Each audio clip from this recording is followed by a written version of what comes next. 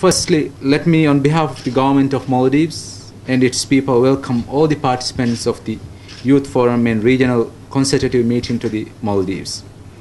I truly hope that your stay thus far has been a pleasant one in the sunny side of life, as we call it in the Maldives. South Asia, unfortunately, has always been playing a catch up with most other regions in terms of development. Economic growth and progress, predominantly political and democratic transitions, have shunted our ability to realize our true potential. However, I stand before you today with renewed hope. SAARC member states have unanimously decided on what needs to be done, and in that regard, rightly earmarked youth de- development as the key to our future.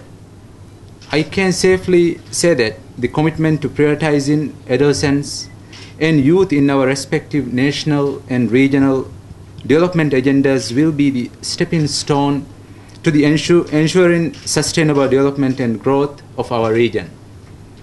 In this light, I think this is the opportune occasion to highlight the commitment of the Maldives government to what has now become a regional objective. With an influx of five times of the budget of previous years, the government of His Excellency President Yameen came with a promise to address the youth related concerns that have sadly been neglected in the recent past. Since our government took office in late November last year, we have hit the ground running in the bid to tackle such concerns. During the first few months of this government, we have launched a nationwide effort to compile a registry of, registry of unemployed youth in the Maldives. So far, over, 100, uh, over 10,000 youth seeking employment have registered, enabling us to first time to accurately determine the number of unemployed youth which we have identified as the first step towards reducing the unemployment rate in the Maldives. We have also introduced several thematic sessions ranging from career guidance, counseling to interview skills. These sessions, of course, are being conducted laterally with monthly job fairs to match job seekers with the potential employers. We have found that young people on occasions needs a little nudge in the right direction to ensure that they can hold on to jobs for a prolonged period of time and build careers around doing what they love to do. In that regard, we also are mindful of the current generation's fondness for arts. As part of my ministry's broad mandate, we are aiming to unearth and encourage many talented artists throughout the Maldives and have designed courses in fields ranging from dance, photography, and arts without compromising our rich and diverse cultural roots. Ladies and gentlemen, the Maldivian government's commitment is not limited to just ambitious plans. We have also drafted a youth bill which will encompass all areas related to youth in order to ensure that the rights of young Maldivians are protected by law. We, are, we hope to pass this key legislation essential to our efforts when the newly elected parliament convenes on 28th of this month. The future of our youth cannot be assured without health and with, and with that in mind, and with the kind and generous assistance of UNFPA, relevant interlocutors, including my ministry, have come together and drafted a national health strategy for the youth. We are hoping to get it endorsed by the cabinet in the coming few weeks. Once adopted, this strategy will address, amongst others, drug abuse, which is the main challenge facing Maldivian youth today. Distinguished participants, the year 2014 has been dubbed by the government as the year of sports and youth infrastructure development in Maldives. True to our elector- electoral pledge, the government is looking to establish a sports arena in every island with a population of over 2,000 or more in the first year. Fully equipped with wide array of both indoor and outdoor facilities and also facilities for to conduct youth development programs. Such long overdue sports infrastructure and youth development infrastructure in the atolls is pivotal to the government's aim to encourage Maldivian youth to utilize their leisure time in a more productive manner. As I have been barely able to scratch the surface of the Maldives government's unyielding commitment to the development of youth, due to the limited time available for me today, I would like to stress that these plans or visions of the Maldivian government have been designed to ensure that we are able to produce a generation of responsible young people, promote youth leadership, bring forward fresh and youth ideas in order to resolve the many challenges facing our tiny little island nation. It was once said, we cannot always build the future for our youth, but we can build our youth for the future. But I firmly believe together we can do both. It is my sincere wish that all member states mirror the commitment shown by the Maldives government to prioritizing adolescents and youth in our respective national and regional development agendas. I would like to conclude my address by expressing my sincere thanks to UNFPA, Ministry of Foreign Affairs, the ever diligent staff of our ministry, Ministry of Youth and Sports, and of course the Youth Volunteer Corps for the hard work they have put in to make all this possible. I wish the participants best of luck for the rem- uh, remainder of this sit down, and I hope that the productive deliberations of the meetings will lead to the finalizing of youth charter and take us one step closer to ensuring uh, a prosperous future for the entire region, SAARC region. Once again, thank you. On behalf of the Government of Maldives, it gives me great pleasure to join the Minister for Youth and Sports to extend a very warm welcome to the distinguished delegates and youth representatives to the Maldives. I believe the outcome of this meeting will pave the way for far reaching positive impacts on the lives of young people in South Asia. The youth of today represent the biggest generation of youth in human history. There are at present over 1.2 billion youth globally. 62% of them live in Asia, and 26% live in the SAARC region alone.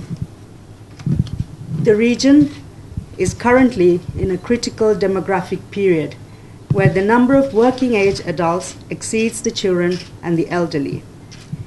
This increased population of youth, as mentioned by previous speakers, provides a demographic bonus. It provides an excellent opportunity for accelerated and robust development of our region.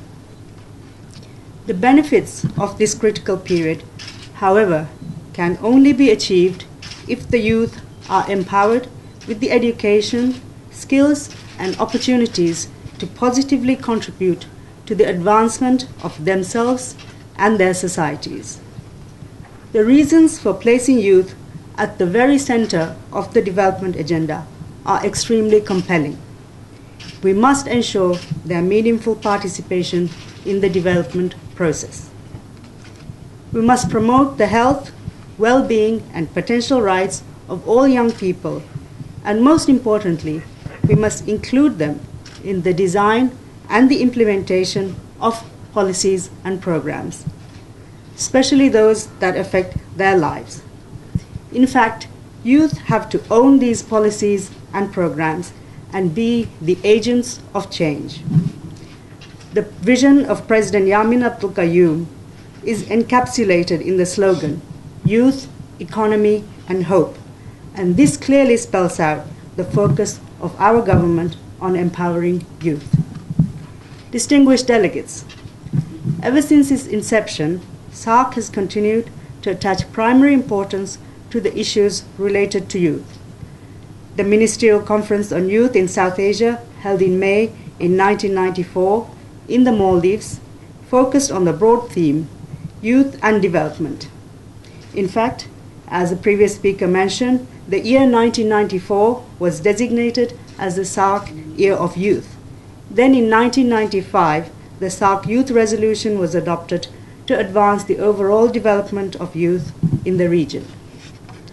SAARC youth camps are being held periodically on a designated theme with a view to promote cultural interaction amongst the youth, with the most, most recent being held in India in February 2013 on the theme Youth as Ambassadors in Global Partnership for Development. And the SAARC Youth Award Scheme was instituted in 1996 to provide recognition to young talents and encourage development of youth in the region. Since then, 11 SAARC Youth Awards have been given to deserving young people from different member states, and I am very pleased to note that a young Maldivian man was achieved the award in 2011.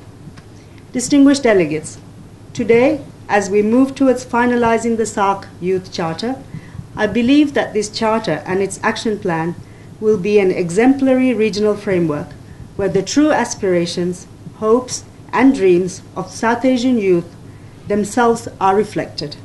I am pleased that the fruitful discussions were held during the youth workshop yesterday.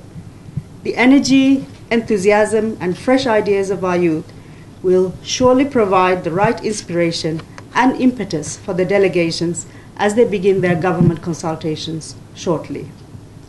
I believe that this youth charter, with its key five areas of focus enabling environment, gender equality, education and skills development, employment, and health provides a sound foundation for the South Asian nations, where efforts of the member states will complement each other in promoting the health, well being, and potential rights of all young people, male and female.